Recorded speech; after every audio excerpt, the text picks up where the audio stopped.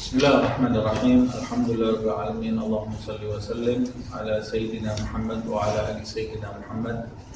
نوعين التعلم والتعليم والتذكر والتذكير والنفع والانتفاع والإفادة والاستفادة والحث على التمسك بكتاب الله وسنة رسوله والدعاء إلى الهدى والدلالة على الخير ابتغاء وجه الله ومرضاته وقربه وثوابه سبحانه وتعالى. Kita lanjutkan kajian kitab Safinatul Najah sampai di bab baru kita ya. Bab haid. Bab haid ini bab terakhir kesucian ya. Nah, setelah ini kita masuk ke bab sholat.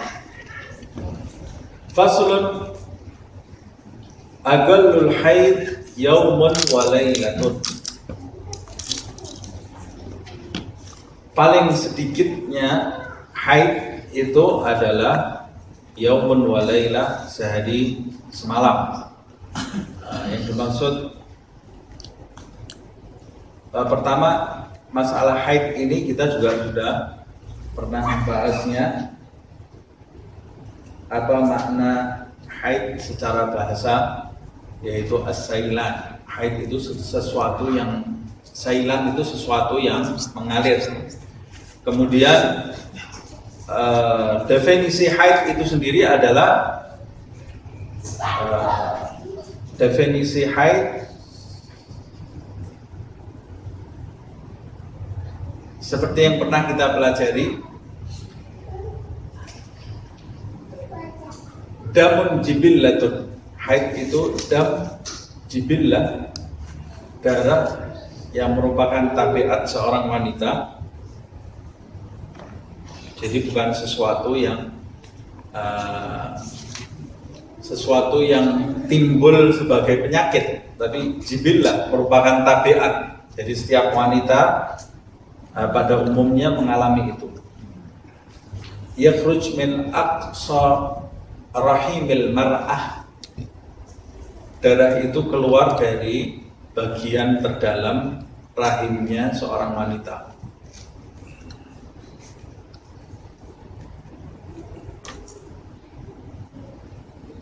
jadi sebetulnya perempuan itu harusnya lebih jarang sakit daripada laki-laki ya. Kalau laki-laki perlu bekam, nah, pasti ada darah yang harus dikeluarkan. Tapi kalau wanita itu e, darahnya keluar secara tabiat, dan darah itu e, asalnya dari dalam rahim. E, ketika rahim itu dialiri oleh oleh darah, maka rahim itu akan sehat. Ini harusnya dokter yang menjelaskan ya akan menjadi sehat.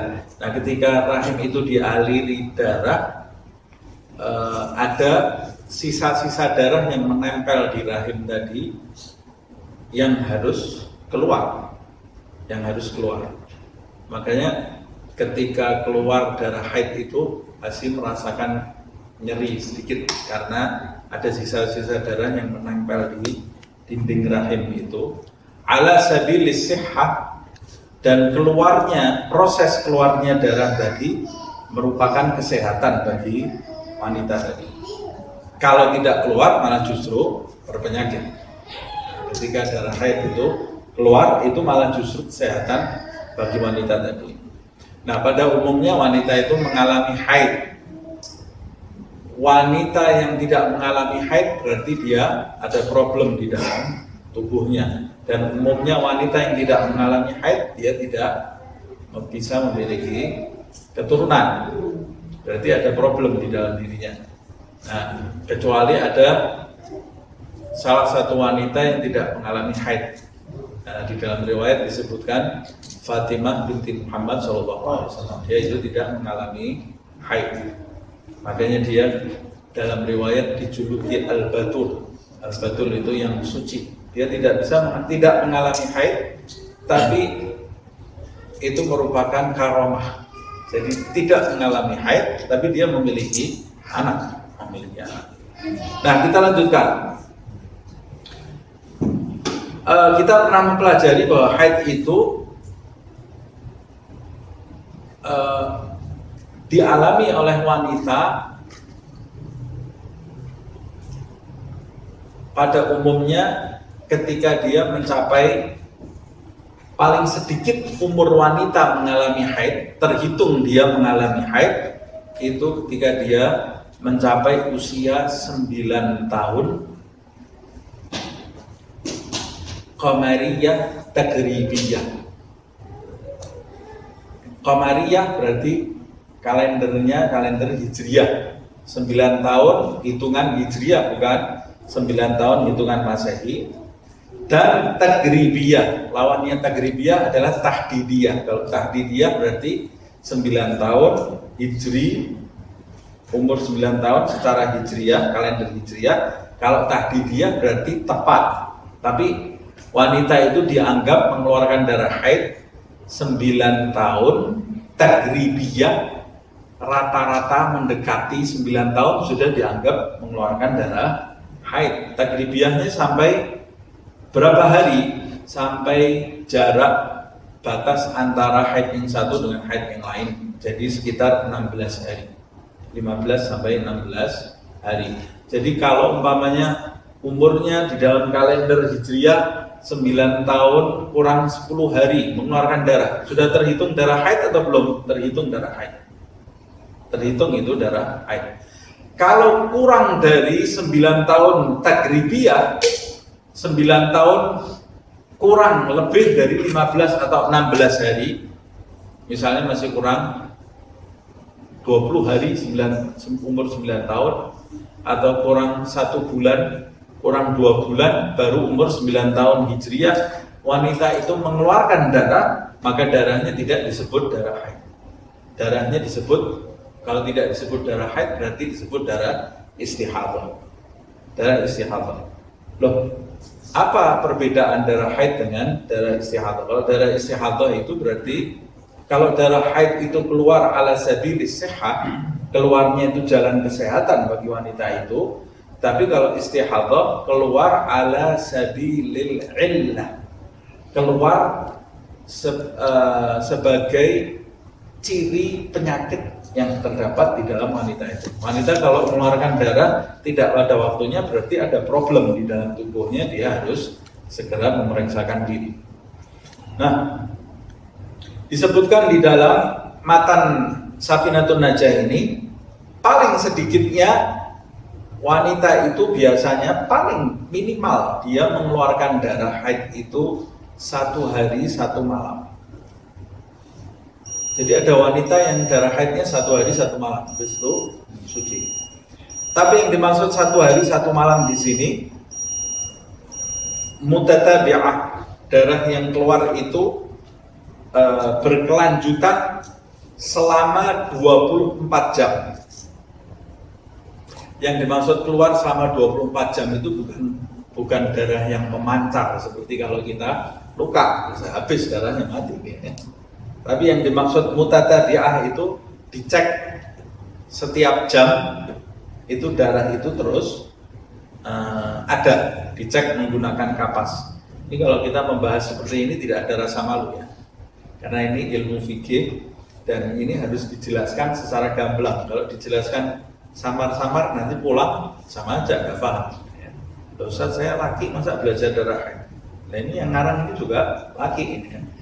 Kenapa laki tidak paham darah haid? Laki juga harus belajar darah haid mengenai ilmu haid karena dia nanti akan punya istri, mungkin dia punya anak wanita, mungkin dia punya saudari di rumahnya yang bisa dia jelaskan. Dan ini berkaitan dengan ibadah. Siapa yang tidak memahami ini nanti akan kacau juga ibadahnya. Nah, 24 jam berarti dicek darah itu keluar terus setiap jamnya atau setiap setengah jamnya dicek menggunakan kapas. Ada bekas darah di kapas itu sampai selama 24 jam. Jadi yang dimaksud satu hari satu malam adalah 24 jam. Berarti kalau kurang dari 24 jam dia disebut darah isti hatam. Nah, biasanya wanita itu yang perlu mengecek terus itu ketika dia pertama kali mengalami haid. Pertama kali dia mengalami haid, dia harus memastikan dulu kebiasaan darah haid dia itu keluarnya seperti apa. Tapi kalau sudah berlanjut tiga bulan, empat bulan dia sudah mengalami haid, biasanya nanti wanita itu sendiri mengetahui uh, kebiasaan uh, siklus haidnya uh, setiap bulannya. Nah sekarang ini aja yang membingungkan karena makanan yang macam-macam. Sekarang ini kan banyak makanan apa itu? Fast food fast food. Fast food itu ada apanya itu yang bisa merusak atau mengacaukan hormon wanita atau minum obat-obatan obat pencegah haid atau obat uh, pencegah kelahiran pasang alat kontrasepsi itu semua bisa merusak siklusnya haid. Akhirnya menjadikan wanita itu seperti awal lagi ya harus memahami siklus haidnya? Belum lagi kadang-kadang ada yang sampai mengeluarkan darah terus jadi berkelanjutan. Istiadah kacau uh, tubuhnya ini menunjukkan alat-alat seperti itu kan? Sebetulnya uh, saya tidak paham juga uh, terlihat kesan mau menyehatkan tapi justru justru tidak menyehatkan justru tidak menyehatkan Nah, kita lanjutkan. Jadi yang dimaksud satu hari satu malam paling sedikitnya haid yaitu 24 jam.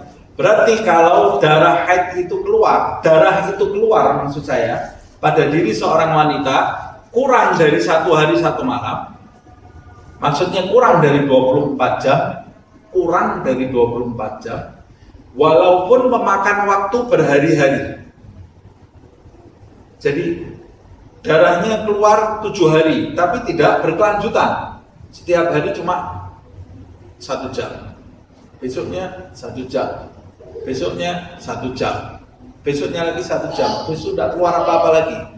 Keluarnya besok lagi satu jam. Berarti kalau tujuh hari dikumpulkan jadi tujuh jam. Tujuh jam itu keluar kurang dari 24 jam. Tujuh hari itu semuanya istirahat. Nah, jadi yang dimaksud satu hari satu malam di sini bukan satu hari satu malam keluar terus selama 24 jam, tapi batas minimalnya walaupun berhari-hari tidak boleh kurang dari 24 jam. Bagaimana caranya? Saya tadi sudah menjelaskan. Ini biasanya bagi wanita yang pertama kali haid, dia harus ngecek terus, dicek terus setiap beberapa jam dicek lagi. Oh ya keluar, oh ya keluar, masih ada di kapasnya merah uh, masih ada uh, bercak darahnya terus. Nah ini berarti satu jam, dua jam dia mengeluarkan darah terus harus minimal 24 jam. Nah, wa situn au sab'un. Pada umumnya wanita itu mengeluarkan darahnya pada umumnya wanita itu mengeluarkan darah haid selama tu, 6 atau 7 hari. Umumnya wanita itu 6 7 hari, ada juga yang 8 hari. Loh, Ustaz saya kok 9 hari, ya tidak ada masalah. Tapi pada umumnya wanita itu 6 atau 7 hari. Tahu dari mana ini? Ya, ini tidak sembarangan. Imam Syafi'i ini mengadakan penelitian. Jadi dulu eh, ulama-ulama uh, seperti Imam Syafi'i dia uh, apa namanya door to door masuk ke rumah-rumahnya uh, para muslimah guna mengadakan mengumpulkan kesimpulan dari mereka uh, dari banyaknya wanita yang diteliti oleh Imam Syafi'i rata-rata mereka mengeluarkan darah itu uh, pada umumnya mengeluarkan darah haid itu sebanyak uh, selama 6 sampai tujuh hari. Setelah itu putus darah haidnya suci. Darah haidnya putus suci. Uh, bisa dipahami ya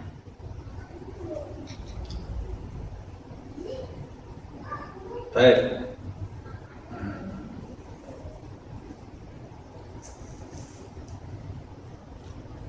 Berarti uh, kalau putus darah haidnya suci 6 hari atau 7 hari, berarti setelah itu dia mandi, habis itu dia bisa melakukan sholat, bisa melakukan sholat. Wa yang terlama darah haid itu khamsata asyar yauman bilayaliha. Darah haid itu maksimal paling lama dihukumi darah haid keluarnya sampai 15 hari dan malamnya. 15 hari dan malamnya. Berarti kalau 15 hari dan malamnya, hari ke-15-nya itu masih dihitung. Hari ke-15-nya dihitung. Nah, kalau seorang wanita selama 15 hari itu mengeluarkan darah, maka darahnya masih terhitung darah haid. Lah kenapa Ustaz kalau darahnya haid? Kalau darahnya darah haid berarti diharamkan bagi wanita itu 10 hal seperti yang sudah kita pelajari di pertemuan yang lalu. Sholat, diharamkan sholat, diharamkan tawaf, diharamkan eh, menyentuh Al-Quran, membawa Al-Quran, membaca Al-Quran, puasa, iktikaf di masjid, apa lagi? Ya. Puasa, iktikaf di masjid, terus lewat di masjid jika takut mengotori masjid, terus apa? Berhubungan suami istri kurang satu. Nanti dicek lagi ada 10 hal yang diharamkan, ada yang terlewatkan nanti ya. Eh, kemudian eh, 15 hari itu bisa jadi keluarnya itu setiap hari bisa jadi keluarnya putus-putus. Darah haid yang terputus dalam satu dalam satu periode haid darah yang terputus kemudian keluar darah lagi yang terputus itu juga dihukumi haid. Nah, jadi umpamanya hari pertama keluar darah hari kedua tidak keluar darah. Hari ketiga keluar darah. Keempat kelima tidak keluar darah. Keenam keluar darah. Ketujuh kedelapan nggak keluar darah. Kesembilan keluar darah. Ini masih haid terus nggak? Masih haid. Lah darah yang eh, hari yang kosong tidak keluar darah haidnya itu bagaimana? Saya sholat atau tidak? Tidak dibolehkan sholat. Itu masih di dalam masa haid. Di dalam masa haid. Nah jadi orang yang tidak paham ada wanita yang tidak paham setiap dia tidak mengeluarkan darah mandi. Mandi kemudian sholat. Besoknya keluar darah lagi. Tidak sholat lagi. Disangka dia haid itu pokoknya ketika keluar darah dihukumi haid ketika tidak keluar darah tidak dihukumi haid. Bukan seperti itu. Masanya haid itu ada 15 hari. Kalau selama 15 hari ini kamu masih mengeluarkan darah maka kamu dihitung masih mengeluarkan darah haid dan tidak diperbolehkan melakukan 10 hal yang dilarang bagi wanita yang haid. Kalau melakukan itu berdosa. Nah, melakukan itu berdosa. Waktunya batas maksimalnya sampai 15 hari. Kalau hari ke-16 hari ke-16 keluar darah darah yang keluar di hari ke-16 itu tidak dihukumi darah haid tapi dihukumi istihadah. Jadi ada uh, lima pelajaran atau tiga pelajaran yang bisa kita ambil. Yang pertama, minimal darah haid 24 jam. Yang kedua, umumnya wanita mengeluarkan darah haid 6 sampai 7 hari. Yang ketiga, batas maksimal darah haid 15 hari. Yang keempat, darah yang keluar dari wanita kurang dari 24 jam dihukumi istihadah. Yang kelima, darah yang keluar dari wanita lebih dari 15 hari yang lebih dari hari, yang lebih dari hari 15 hari ke-16-nya itu dihukumi istihadah. Yang sebelumnya dihukumi haid. Nah, paham ya? Seorang wanita mengeluarkan darah hari pertama, kedua, ketiga, keempat, kelima sampai 15 hari. Hari ke-16 masih mengeluarkan darah ini gimana ini? Kalau sudah hari ke-16, yang ke-16 itu adalah istihadah. Yang kemarin yang 15 itu masih haid. Itu masih darah haid. Faham ya? Nah, kemudian berikutnya.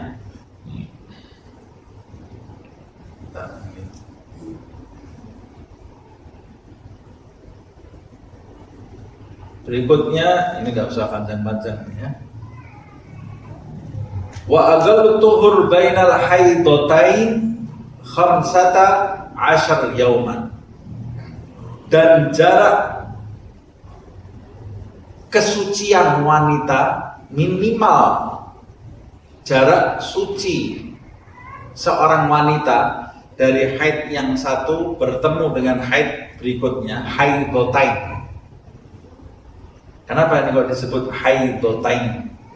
Dua haid. Supaya tidak timbul asumsi uh, haid yang satu periode itu darah yang keluar kemudian bersih keluar lagi ini dihukumi tidak haid. Itu haid bukan suci yang dalam satu periode. Jadi yang dimaksud ini adalah jarak suci antara dua periode haid. Dua periode haid. Haid dalam waktu yang berbeda bukan darah haid yang dalam satu periode. Paham maksud saya? Ya? Kan ada saya jelaskan tadi hari pertama keluar darah, hari kedua, ketiga tidak keluar darah, hari keempat keluar darah. Nah, ini berarti suci, tidak keluar darah. Itu satu periode haid gak? Satu periode haid itu dihukumi haid. Nah jadi ini suci antara dua periode haid. Ketika sudah selesai suci kamu, ketemu dengan haid berikutnya, jaraknya berapa? jaraknya minimal khamsata asyar yauman. 15 hari.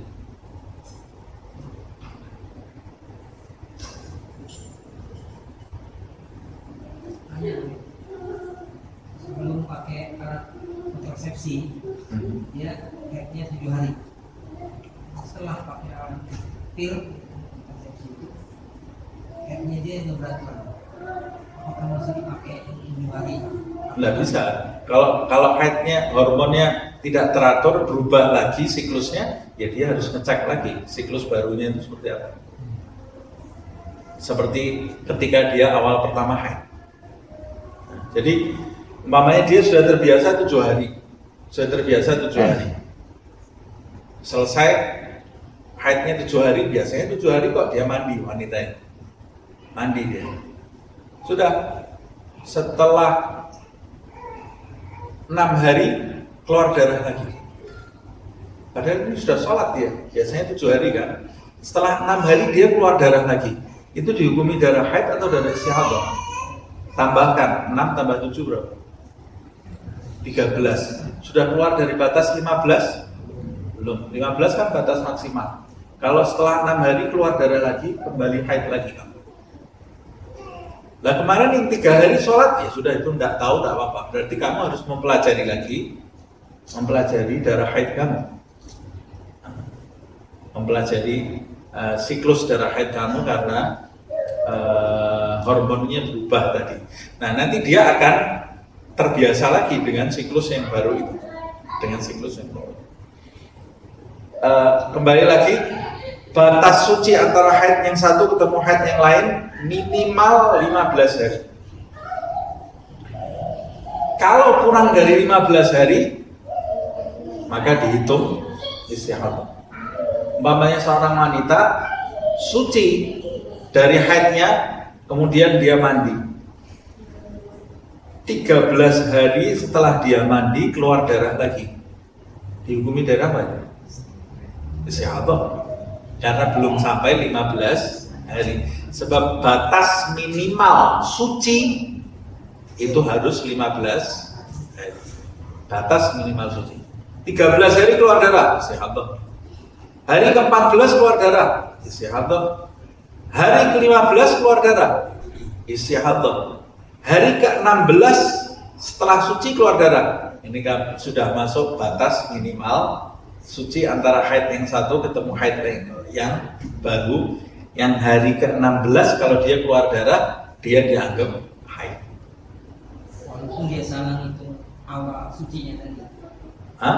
Misalnya dia salah awal suci karena ada perubahan kebiasaan. yang harus dihitung dari terakhir dia putus darahnya itu. Ya kalau berubah-ubah ya dia harus memperhatikan. Eh, kadang ada wanita memang yang kesian kacau, jadi tidak beratur. Berarti itu ada problem di dalam dirinya. Ya sudah dia berarti harus eh, berijtihad setiap saat. Nah, tapi akan dihitung sucinya 15 hari itu dari terakhir darah haidnya yang keluar itu. Kalau keluarnya ya di hari ke-15, kemudian dia mandi, ya mulai hari yang ke-15 itu baru dihitung besoknya batas suci yang pertama. Suci pertama, hari kedua, hari ketiga, hari keempat, hari kelima, hari keenam, sampai eh, hari ke-15 keesokan harinya. Hari yang ke-16, kalau dia keluar darah lagi baru terhitung darah haid bukan dari awal haid. Nah, ini ada yang salah juga. Dihitung batas sucinya dari awal mengeluarkan darah haid enggak. Dari awal suci, suci dari haid. Eh, kenapa sih harus dibedakan istihadah dengan darah haid? Saya harus mengetahui kenapa. Se- Sebab hukumnya darah istihadah dengan darah haid itu berbeda. Kalau wanita mengeluarkan darah haid diharamkan 10 hal. Kalau wanita mengeluarkan darah istihadah, dia tetap wajib sholat. Tetap wajib puasa. Tetap wajib puasa ya. Eh, dan sholatnya ada aturan-aturannya seperti orang yang kena penyakit salisal bol yang terkencing-kencing terus itu mengeluarkan hadas, berhadas terus itu ada aturannya. Karena dia tidak pernah bisa suci kan? Tapi dimaafkan. Wanita yang dalam keadaan istihadah itu seperti orang yang selalu berhadas tidak bisa suci. Wanita yang terkena istihadah dia tidak bisa menyimpan wudhu untuk ibadah fardu. Jadi setiap fardu, setiap ibadah fardu dia harus berwudhu. Kemudian dia tidak bisa berwudhu kecuali masuk waktu. Tidak bisa dia nyimpan wudhu maghrib untuk isya. Tidak bisa wanita yang istihadah. Jadi apa yang harus dilakukan? Setiap mau melakukan sholat fardu, pertama wanita yang istihadah itu harus nunggu adzan dulu. Harus nunggu masuk waktu maksud saya. Kalau dia wudhunya sebelum masuk waktu, tidak sah. Harus mengulangi. Pertama, harus nunggu masuk waktu. Kedua, setelah masuk waktu, dia harus membersihkan kemaluannya terlebih dahulu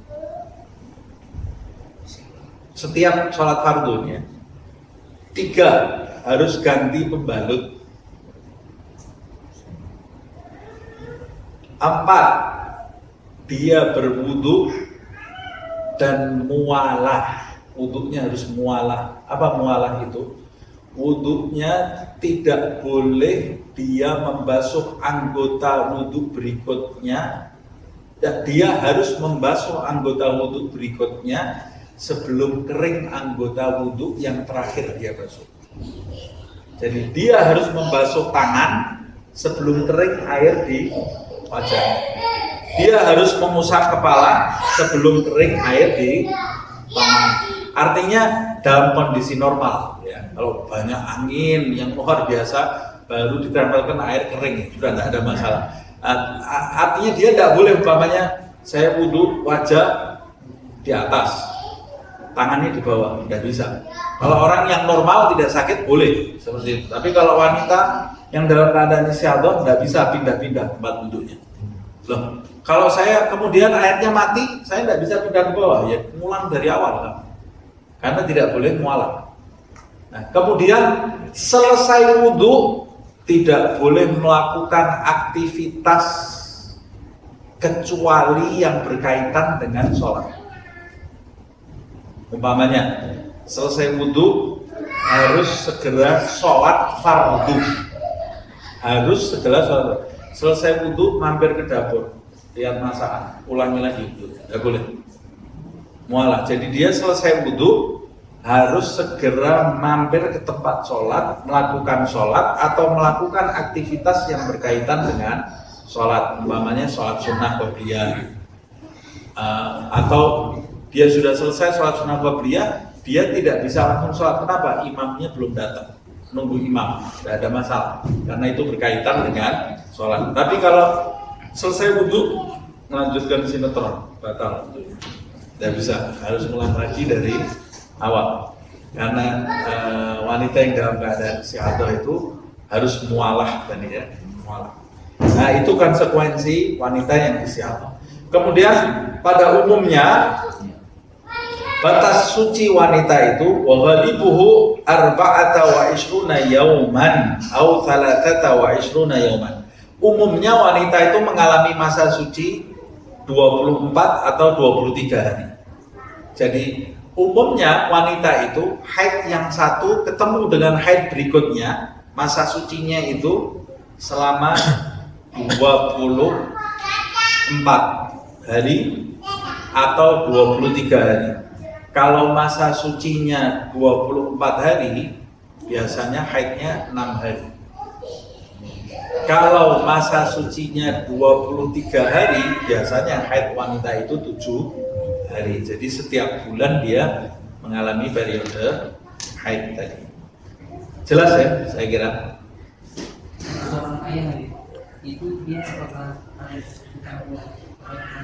Harus harus di anak-anak perempuannya itu sebelum dia dewasa harus diberi pelajaran tentang haid ini. Dia memastikan anaknya punya bekal ilmu ini, setelah itu uh, apa namanya ya sudah urusan dia dengan Allah SWT tapi ya dia harus mengajarkannya dengan benar. Mungkin lebih baik ibunya yang uh, apa namanya uh, mengajarkan secara langsung kepada anak wanitanya itu.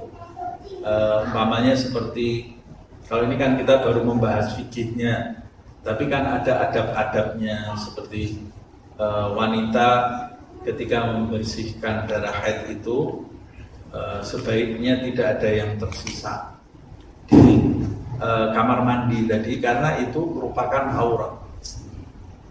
Aurat yang tidak boleh terlihat oleh siapa pun. Uh, jadi harus dibersihkan sebersih bersihnya termasuk uh, sebagian guru itu dari menjaganya sampai bekas pembalutnya itu betul-betul dibersihkan di apa namanya buntel gitu dimasukkan plastik kemudian dibuang ke sampah tidak ada yang tersisa di kamar mandi sama sekali. Nah begitu seharusnya adabnya karena seorang wanita itu harus memiliki rasa malu dan itu termasuk aurat yang harus dijaga. Apalagi kalau di kamar mandi umum tidak boleh sembarangan membuang hal seperti itu. Nah, uh, uh, bukan merupakan adab yang terpuji. Sebagian ada yang sampai mengharamkan. Nah kemudian batas maksimalnya batas maksimalnya la hadda li tidak ada batas maksimalnya tidak ada batas maksimal suci jadi sebagian wanita bahkan ada yang mengalami haid setahun sekali. Ada yang setahun sekali. Berarti kalau setahun sekali masa sucinya itu 11 bulan ya. 11 bulan berapa hari. Atau bahkan sampai umur tertentu wanita itu sudah tidak mengalami haid lagi. Tidak mengalami haid ketika dia mencapai usia menopause seperti istrinya Nabi Zakaria. Uh, ini masalah haid kita selesaikan sekalian masalah nifas karena ini uh, pendek. Jadi insya Allah di pertemuan yang akan datang kita bisa masuk masalah sholat. Siapa yang mau uh, membahas atau mengkaji haid ini lebih detail lagi bisa membaca kitab khusus masalah. Ini di sini cuma dibahas secara ringkas saja. Eh, setelah haid ada nifas. Darah nifas ini dan yakhruj agibal wilada. Darah yang keluar setelah proses persalinan. Itu namanya darah nifas dinamakan nifas ada ulama yang mengatakan dinamakan nifas karena darah itu keluar melalui hentakan nafas seorang ibu ketika dia melahirkan. Makanya darahnya dinamakan nifas. Nifas ini paling sedikitnya agalun nifas majatun. Paling sedikitnya darah nifas itu satu tetes. Lah nifas dengan haid itu sangat berbeda. Kalau haid itu setiap bulannya dan itu tabiat seorang wanita. Kalau nifas itu terjadi ketika wanita itu mengalami persalinan. Dan terus apa yang terjadi kalau wanita nifas? Wanita yang wanita yang nifas diharamkan bagi wanita yang nifas itu segala hal yang diharamkan bagi wanita yang haid.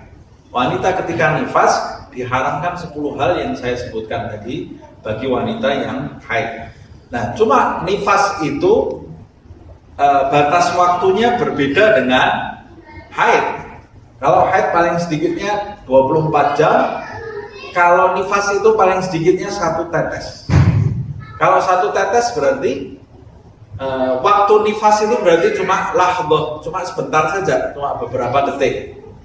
Jadi ada wanita yang setelah persalinan darahnya itu cuma keluar satu tetes kemudian dia mandi. Siapa wanita itu yang yang paling jelas Sayyidah Fatimah itu siapa? Sayyidah Fatimah itu kalau melahirkan, habis melahirkan dia langsung mandi nifas. Sudah tidak ada darah yang keluar lagi. Jadi proses persalinannya itu darahnya cuma satu tetes dimuliakan oleh Allah.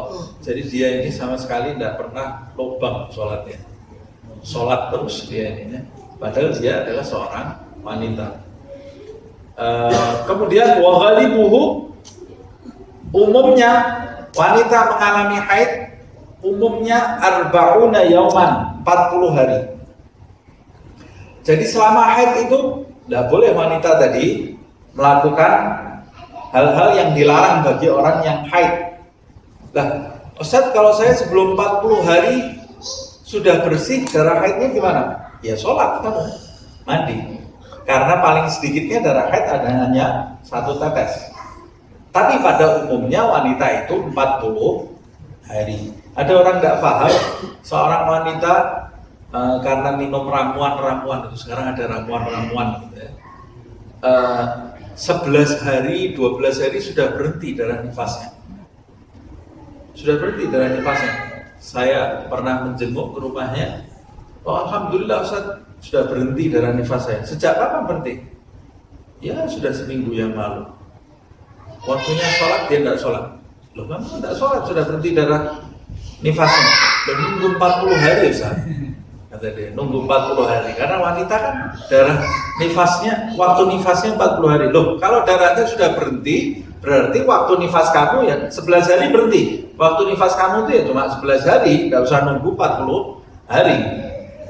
Walaupun pada umumnya wanita itu nifasnya selama 40 hari pada umumnya. Uh, dan wa aktsaruhu aktsar nifas maksimal waktu nifas itu 60 hari. Situ nayauman 40 hari masih mengeluarkan darah, masih terhitung nifas. 60 hari masih terhitung nifas. Hari ke-61 masih mengeluarkan darah, itu bukan nifas lagi. Itu sudah darah istihadah kecuali kecuali jika setelah 60 hari nifas itu bertepatan dengan siklus haid. Bertepatan dengan siklus haid. Jadi wanita sendiri tahu. Ini biasanya dia kalau haid itu tanggal berapa, tanggal berapa kan dia sudah tahu. Berhenti darah nifasnya, jarak beberapa jam, keluar darah lagi. Ini darah istihadah atau bukan? Nah ini bertepatan dengan siklus haid kamu atau tidak? Kalau bertepatan dengan siklus haid kamu, ya kamu nambah tidak sholat lagi. Berarti itu setelah berhenti nifas kamu masuk waktu haid. Atau sebaliknya, darah haidnya 15 hari waktu dia hamil. Orang hamil bisa keluar darah haid tak? Pendapat yang asah, yang terkuat, yang disepakati oleh ulama syafi'i, wanita hamil itu bisa mengeluarkan darah haid. Walaupun beberapa madhab yang lain mengatakan tidak. Nah, jadi kalau menurut madhab syafi'i, wanita ketika hamil mengeluarkan darah, darahnya dihukumi darah? Darah haid. Nah, dihukumi darah haid. Nah, bisa jadi wanita itu hamil sudah bulan yang ke-9 sudah waktunya mau punya anak mengeluarkan darah haid. Sampai 15 hari keluar darah.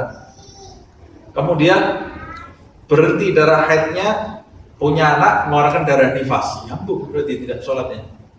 Nah, ini katanya lebih dari 15 hari dihukumi atau itu kalau tidak nyambung dengan nifas. Kalau nyambung dengan nifas yaitu namanya dinamakan darah haid. Setelah itu bersambung dengan darah nifas. Tapi kalau tidak bersambung dengan siklus haid setelah 60 hari wanita itu masih mengeluarkan darah, maka darahnya disebut darah istihadah. Nah ini yang perlu kita ketahui. Ada juga agalul hamil. Di sini tidak ada. Agalul hamil. Uh, kehamilan itu paling sedikitnya minimal 6 bulan. Uh, umumnya wanita itu mengalami masa hamil 9 bulan. 9 bulan. Maksimal ada yang sampai 4 tahun. Hampir 4 tahun gimana ini? Kalau zaman sekarang kan 9 bulan kelebihan sedikit harus dikeluarkan anaknya. Tapi menurut penelitian ada wanita yang hamil sampai 4 tahun. Ada yang kawin selama 12 tahun langsungan hamilnya. Tapi anaknya cuma tiga karena siap hamil 4 tahun 4 tahun terus. 4 tahun kali 4 kali 3 12 jadi hamil selama 12 tahun anaknya 3 anaknya 3 tapi wallahu alam ini yang terdapat di dalam kitab. Cuma dalam kehidupan nyata zaman ini saya tidak tahu ada apa menurut uh, beberapa pendapat ulama Imam Syafi'i itu di perut ibunya selama 2 tahun selama dua tahun di perut ibunya. Dan menurut pendapat beberapa ulama, bayi yang lebih lama di dalam kandungan ibunya itu lebih cerdas. Lebih lama di dalam kandungan ibunya lebih cerdas. Tapi mungkin zaman sekarang ini karena sekali lagi terlalu banyak zat kimia, obat-obatan kimia, 9 bulan lebih bayi kalau di perut ibunya keracunan macam-macam harus segera dikeluarkan subhanallah. Jadi teknologi ini membantu sekaligus melukai juga. Ada side effectnya Saya kira ini yang bisa kita bahas. Nah, semoga Allah Subhanahu wa taala memberikan kepada kita ilmu yang bermanfaat insyaallah menjadikan kita termasuk orang yang berilmu dan mengamalkan ilmu ikhlas karena mengharap ridha Allah Subhanahu wa taala amin ya rabbal alamin يا ربنا اعترفنا بأننا اقترفنا وأننا أسرفنا على لظى أشرفنا. فتب علينا توبة تغفر لكل حوبة. واستر لنا العورات وآمن الروعة والدينا ربي ومولودنا والأهل والإخوان. وسائر الحلم وكل ذي محبة أو جيرة أو صحبة والمسلمين أجمع. آمين. ربي اسمع فضلا وجودا منا. لا باكتساب منا بالمصطفى الرسول. نحظى بكل سور بالمصطفى الرسول. نحظى بكل سور بالمصطفى الرسول نحظى بكل سول صلى وسلم ربي عليه عد العبد وآله وصحبه عدد فرش الصحب walhamdulillahi bil badri wa tanahi. Jadi insya Allah di pertemuan yang akan datang kita baru masuk ke bab sholat.